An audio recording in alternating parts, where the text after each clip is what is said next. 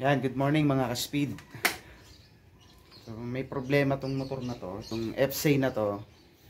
Kapag ini-start ko siya, cold start, ah tawagin cold start sa umaga, kahit sa hapon, basta cold start, yung galing sa malamig na malamig na makina. Mag-start siya, kaya lang pag sinilinyador siya, namamatay. So, hindi siya normal. Dapat kahit papano mag RPM siya.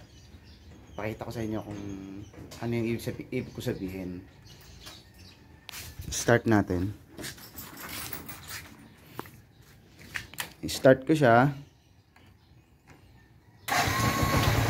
Na-under naman siya. Tapos ang baba ng minor. Yan, namamatay.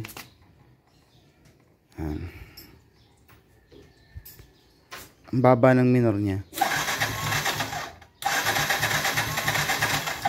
Hard starting siya oh. Ah, tuwing umaga.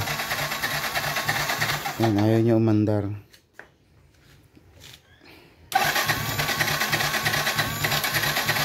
So, yun yung isang problema niya. Sa umaga, o kahit hapon, basta cold start, may problema siya. Ayaw niya umandar. Ayan. Engine stop.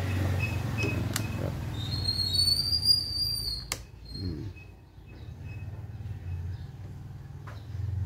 Hindi naman siya andar ano.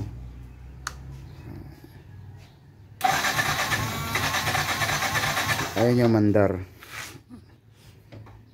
Kahit sakit siguro, hindi andar to. So yun yung problema niya.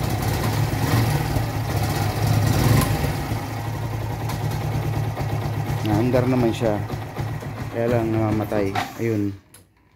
Mababa. Yun. So yun yung problema niya.